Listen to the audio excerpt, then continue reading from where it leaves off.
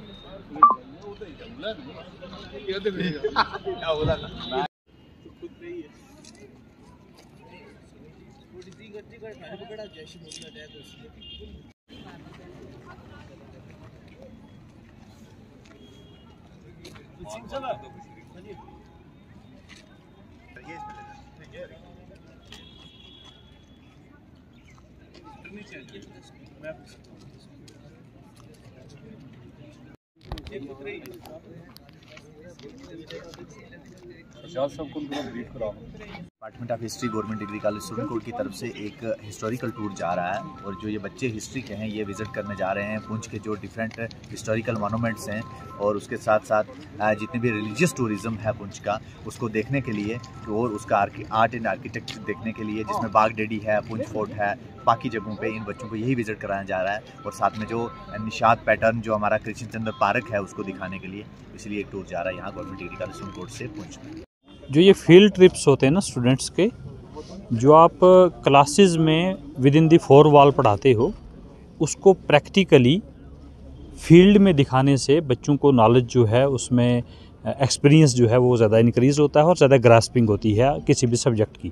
आज ये हिस्ट्री का टूर जा रहा है।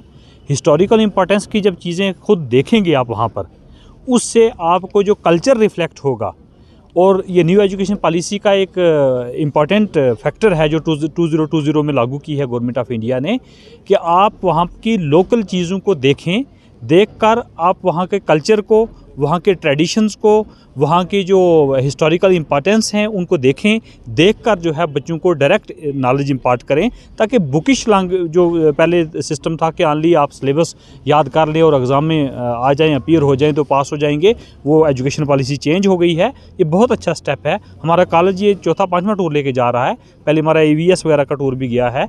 तो ये हम इनको फ़ील्ड ट्रिप करवाते हैं, जिसमें फ़ील्ड में रियलिटी में चीज़ों को करके दिखाते हैं और रियलिटी में दिखाते हैं फिज़िकली कि ये चीज़ क्या है, बजाय इसके कि वो बुकिश ही। रहे